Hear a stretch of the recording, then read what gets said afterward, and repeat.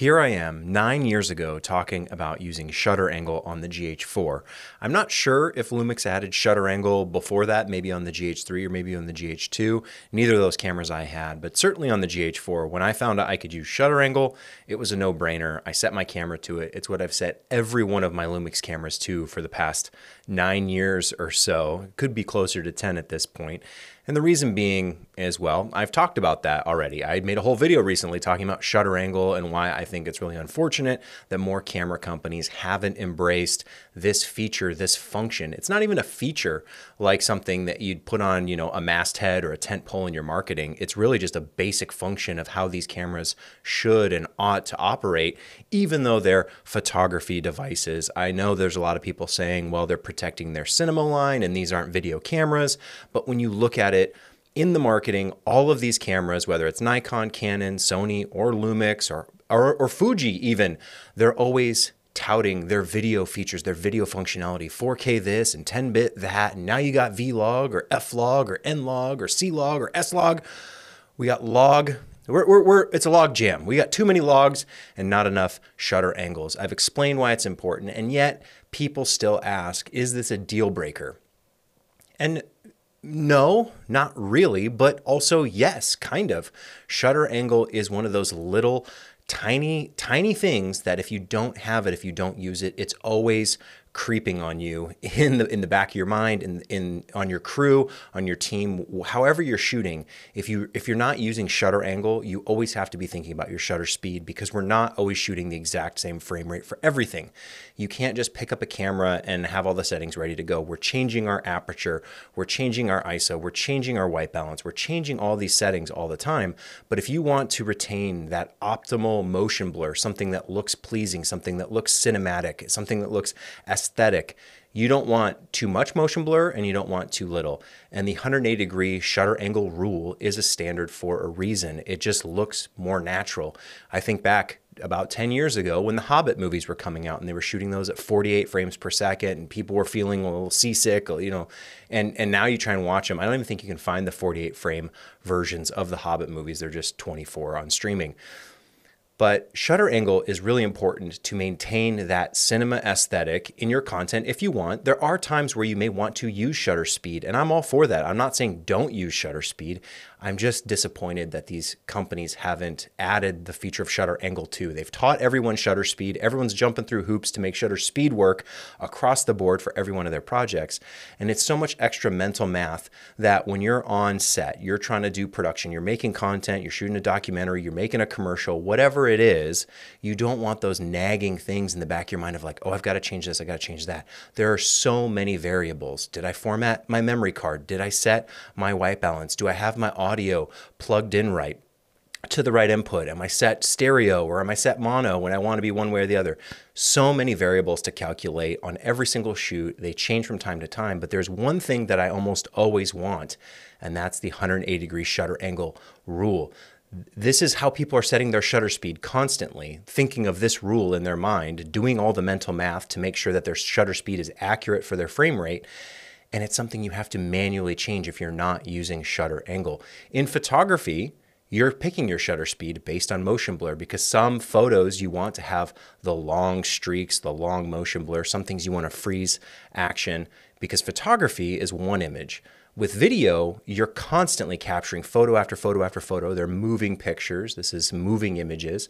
And we want motion blur that looks natural and is aesthetically pleasing. There are certain situations where you're filming a computer monitor or you're filming in another country and you need to adjust to the, you know, electric grid of, of the place and make sure you're not getting flicker and all that stuff. And there are features for that when you're using shutter angle, synchro scan. You can dial in by the degree to match the refresh, the flicker of the LED wall or the computer monitor, whatever it might be. And if it's easier for you in those situations to set your shutter speed that's fine.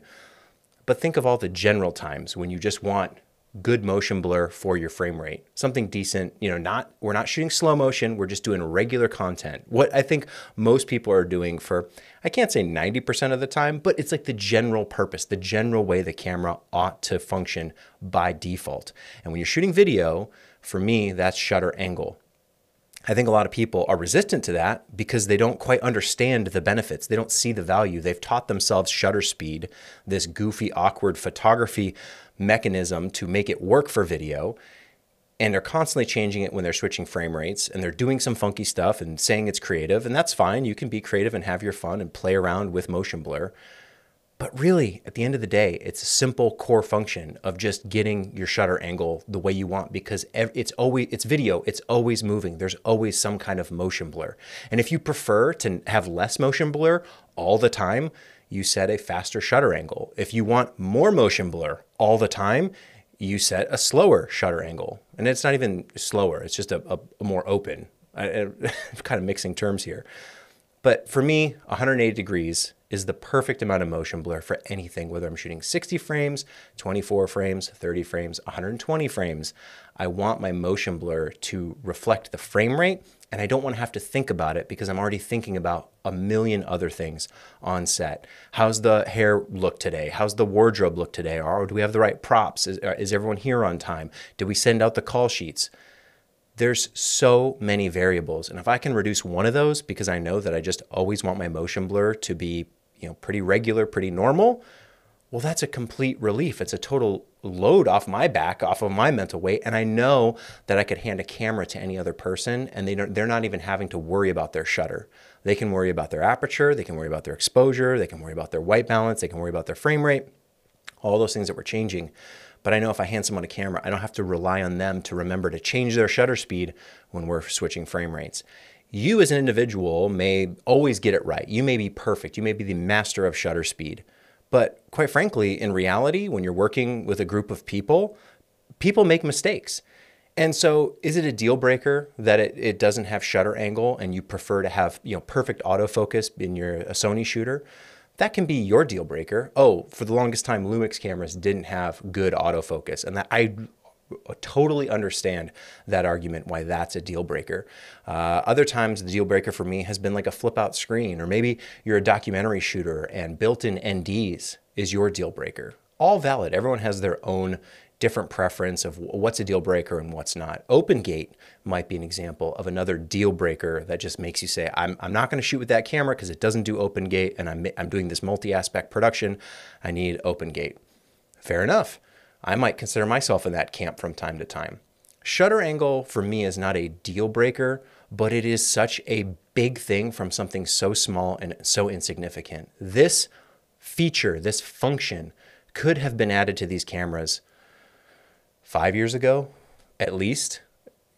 You know, like in the grand scheme of things probably 10 years ago realistically because it's not it's not new technology. It's not some you know foreign concept that we just figured out. This is from cinema. This is from filmmaking. It's the way the film cameras were built.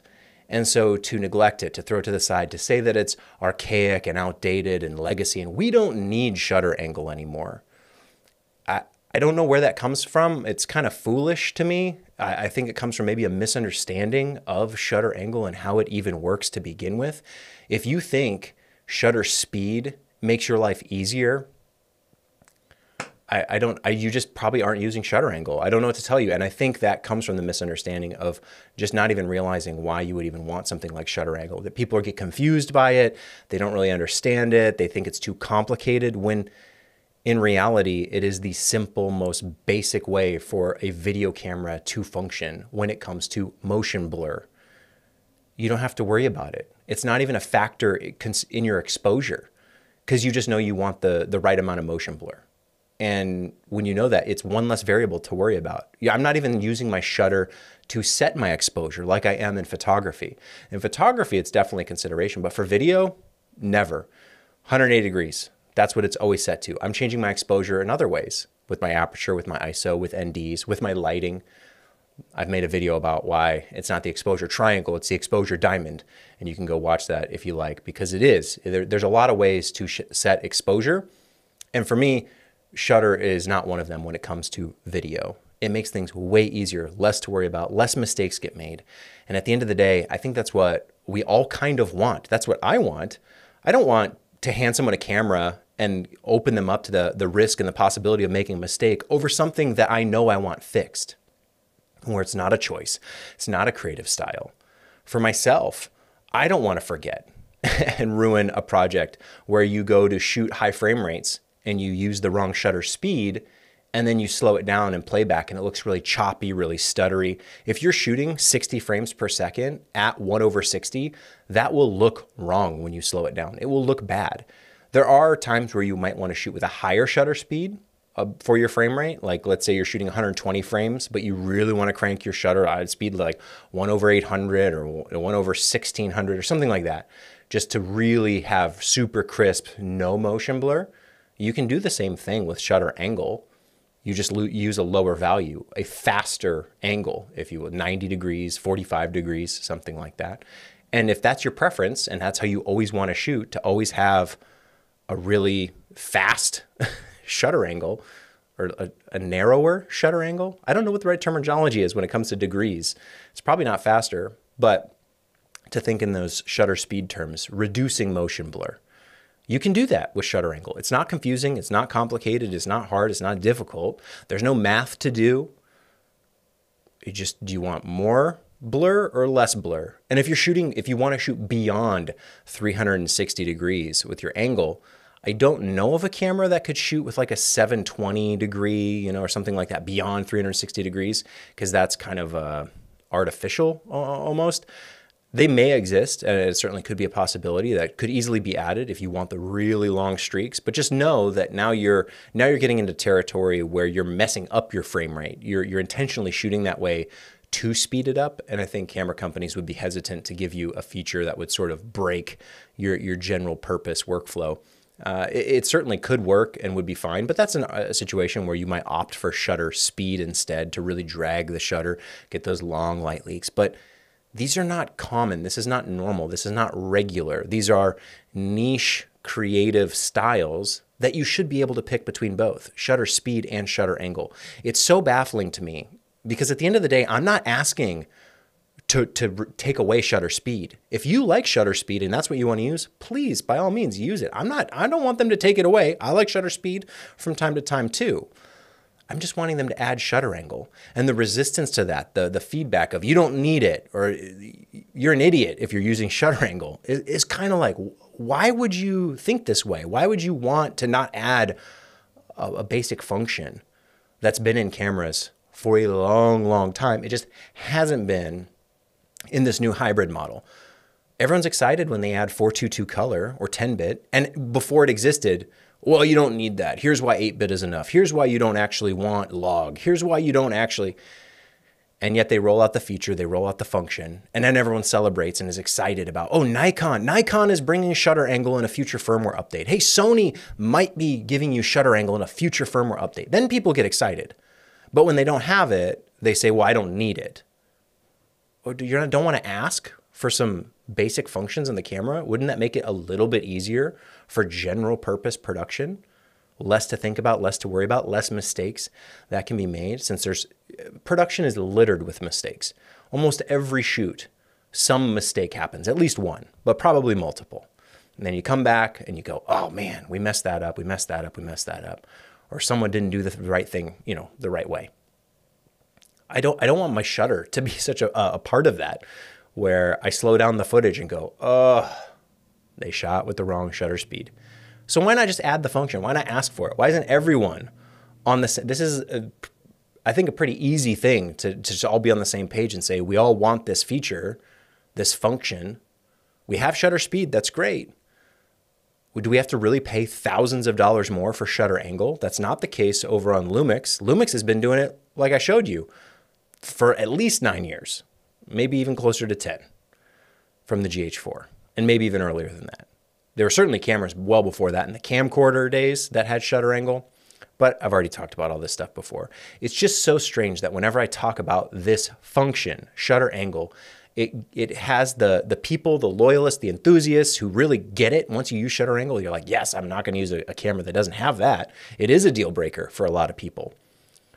And everyone else is happy to deal with the workarounds, the awkward clunkiness of changing their shutter speed every time they change their frame rate, leaving themselves and others open to the mistake of getting their motion blur wrong. It's so weird that more people wouldn't be asking for it and would prioritize other things as being more important because they're bigger. They're like 8K. Oh, that's more important. Well, yeah. But at the end of the day, fundamentally, if the basic functions of the camera don't do what you need them to do in a way that makes your job easier, it's constantly wearing on you, whether you realize it or not. The mental weight in the back of your mind of always having to set your shutter speed, it's not it's not a big amount. It's not large, but it's constant. And that's why it's so irritating to me to use a camera that doesn't have shutter angle. Where on anything for Lumix for the past decade, it's been one thing, uh, one less thing I have to worry about, one less thing I have to think about, and I always get it right no matter what I'm doing when I'm making creative choices to change my frame rate. It's I don't say life changing, but it is kind of life changing, work changing, game changing. It makes your life so much easier. So it just seems obvious to me that everyone should want this added. I'm not I'm not asking to replace shutter speed. Just add it as an additional function. These these cameras are not just photography cameras anymore. The people making YouTube videos with their photography cameras, they're making videos. It, like how how are we still having this argument 10 years after the fact? Yes, there was a point in time when you could say, well, it's just a, a, a, camera for taking pictures. It's just for photography. It's not for video. And yet nowadays you have YouTubers making videos with photography cameras. The hybrid model works and is successful and is popular, and these cameras sell because they're useful, because they're valuable.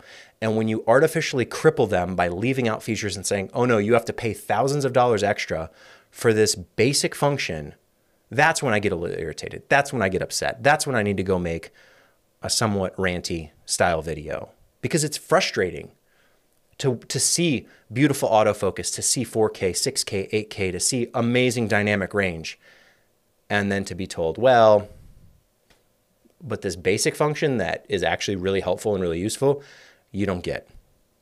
Here I am again, six years ago, probably seven years ago, eight years, whenever I made this video, talking about shutter angle. I've been talking about it for a long, long time.